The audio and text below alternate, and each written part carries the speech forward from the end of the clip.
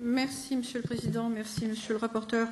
Euh, je crois que ce dossier est un des premiers qui euh, ouvre une, nouvelle ère euh, dans la vision de nos sociétés.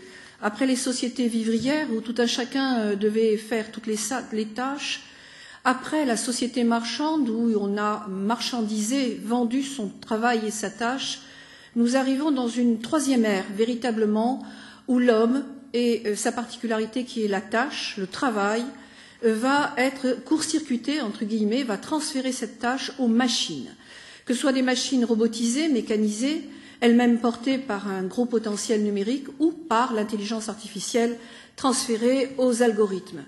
Et là, il y a une réflexion tout à fait extraordinaire à mener et nous partons dans l'inconnu.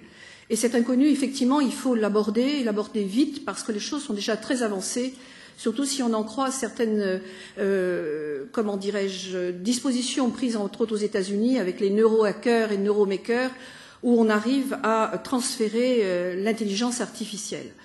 Dans le cas de figure, rien que de poser le problème tel que le fait notre collègue de personnalité juridique, est déjà d'admettre que les robots, la machine, l'intelligence artificielle a créé des entités euh, entièrement séparées de l'homme et qui ne seront plus en dépendance de l'homme. Bien évidemment, au plan juridique, c'est fondamental.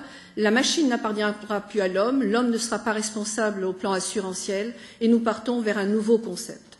Tout cela doit poser la question véritable de savoir si oui ou non nous acceptons dès aujourd'hui de donner une personnalité juridique aux machines si l'homme augmenté tel que cela est en train de se préparer va pouvoir être un bien-être supplémentaire pour l'homme et euh, faciliter le travail. Toutes les projections sont en train de prouver que, après une première période où on augmente les, les emplois, une deuxième période prévoira la perte des emplois, jusqu'à arriver à une explosion, une implosion du système où Uber sera ubérisé.